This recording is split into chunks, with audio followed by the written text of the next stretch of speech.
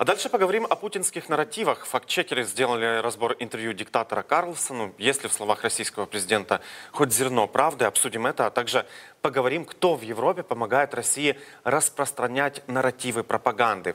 Есть целая сеть лжеэкспертов, которые синхронно озвучивают одинаковые российские фейки, получают одинаковые награды и ходят друг к другу на эфиры. Их Кремль использует как внутреннюю, так и на внешнюю аудиторию. Аналитик проекта VoxCheck Алина Тропынина присоединяется к нашему эфиру. Алина, здравствуйте. Здравствуйте. Алина, скажите, вас лично что-то удивило в этом интервью? Или, возможно, даже рассмешило? Ну, во-первых, это было мало похоже на интервью, скорее на монолог одного псевдоисторика, который поддак... которому поддакивает второй псевдоэксперт. Мы в Оксчек неоднократно опровергали заявления Путина из различных выступлений и публикаций. Он не сказал ничего нового, повторял все те же нарративы российской пропаганды. Так Путин в очередной раз пожаловался, что США его обманули насчет гарантий о нерасширении НАТО. Также Путин намекает на то, что США якобы управляют Украиной, революцию достоинства называет государственным переворотом и заявляет, что Россия будто бы никогда не отказывалась от переговоров это все Украина. На самом деле формулу мира Украины они отвергли, а переговоры в понимании России — это капитуляция Украины. Не обошлось и без экскурса в выдуманную историю Путина, где Россия якобы а, является правоприемницей Киевской Руси, а Украину создали коммунисты. Однако в этом и была его цель. Пропаганда не должна быть оригинальной или заковыристой, она должна быть повторяемой. Чем чаще, настойчивее, интенсивнее повторяются одни и те же идеи, тем лучше они закрепляются в сознании. Это называется эффектом повторения или эффектом иллюзии правды, когда люди воспринимают информацию как правдивую, если слышали ее несколько раз. И даже если это утверждение маловероятно или оно уже было опровергнуто. Э, в, это вот, в начале этого так называемого интервью э, Путин почти полчаса рассказывал свою альтернативную версию истории Украины. Он часто это делает. Скажите, есть ли понимание, от чего у него такая зацикленность э, на Украине и на украинской истории, которую он перекручивает до нельзя? Таким образом, он, как вы правильно сказали, транслирует свою альтернативную историю. Нужно понимать, что для Путина подобные интервью — это площадка, где он может распространять свою ложь, распространять российскую пропаганду. Ведь Такер Карлсон, он имеет многомиллионную аудиторию, часть из которой это лояльная аудитория, которая ему доверяет, а значит доверяет его выбору и спикерам, которых он приглашает. А мы как украинцы, видим лжеца, который рассказывает выдуманные истории, а западная аудитория видит опытного рассказчика, который уверен в том, что он говорит. Это также опасность, потому что а, не всем могут быть интересны детали украинской истории, они видят только общее представление. И эти же люди потом будут использовать полученное представление для формирования своего мнения об Украине, о потребности ее поддержки. Э, ну вот Путин не просто достаточно свободно интерпретирует э, историю Украины конкретно, но и путается в собственных интерпретациях. То он говорит в этом интервью, что Украину создал Ленин, то Украину создал Сталин. Как вы думаете, о чем это может говорить? Если, как вы сказали до этого, Э, пропаганда хороша тогда, когда толдычится одно и то же. А тут ну, он говорил все это время э, о Ленине, а тут вдруг еще и Сталин появился. Так мы э, дойдем и до Брежнева как-то получается. Ну, думаю, мы в этом можем найти подтверждение тому, что это выдуманные истории, что это ложь. Он как бы сам способствует подтверждению э, этих слов, что это все ложь. А вот эта его оговорка о том, что отец э, Зеленского воевал против фашистов, хотя на самом деле э, отец Зеленского в 47-м только родился, это намеренная оговорка или он уже действительно, ну, как некоторые говорят, в таком маразме, простите за слово, что не понимает, о чем сам говорит, путает собственные версии событий?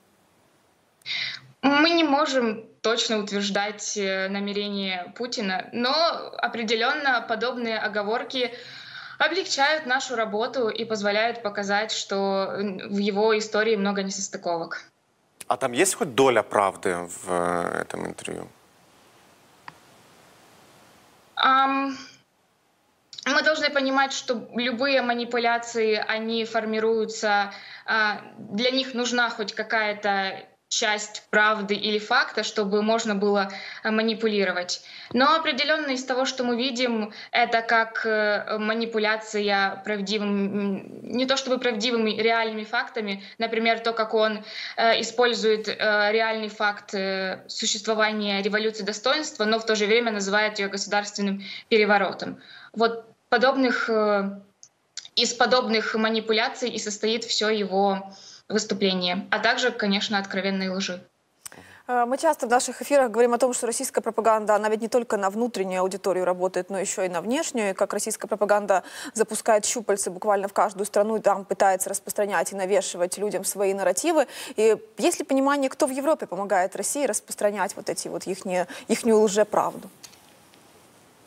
А, да, например, вот если мы возьмем Такера Карлсона, это один из наиболее известных псевдоэкспертов, часть сети э, принадлежит к части сети прокремлевских спикеров, которых мы э, выявили.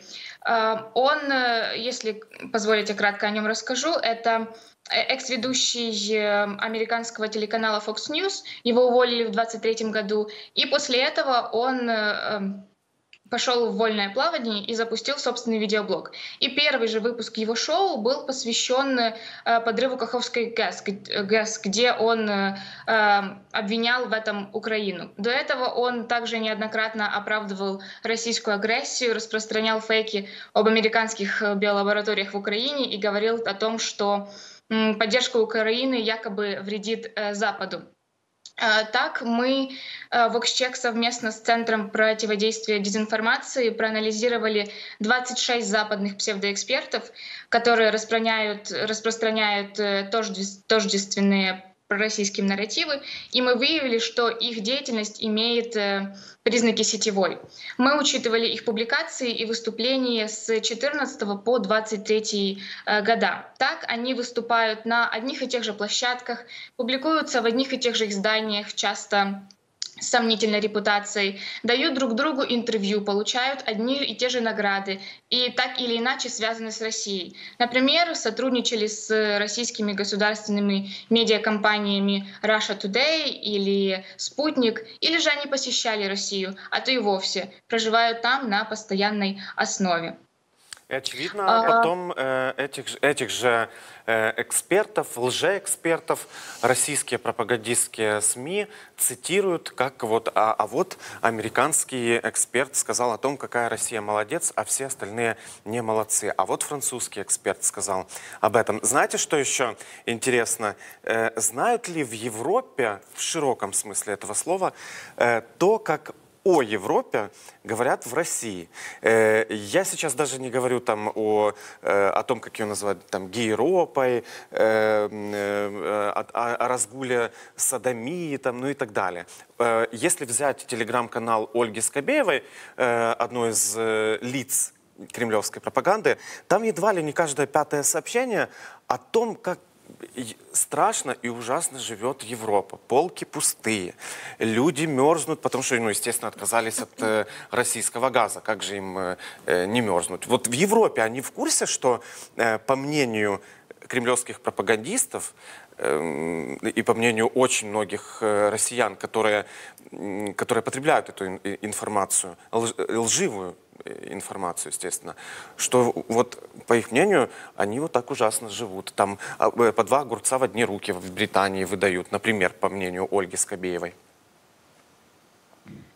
Мы должны понимать, что часть э, российской пропаганды они как раз-таки получают через своих западных экспертов, которые распространяют эти пророссийские э, нарративы на свою аудиторию. То есть у них есть спикеры, свои спикеры западные, которым они э, доверяют, э, которые, которые имеют для них авторитет, и они их, э, их слушают, и они слышат то, что они им говорят, ту часть, э, ту часть пророссийских нарративов, которую они им доносят.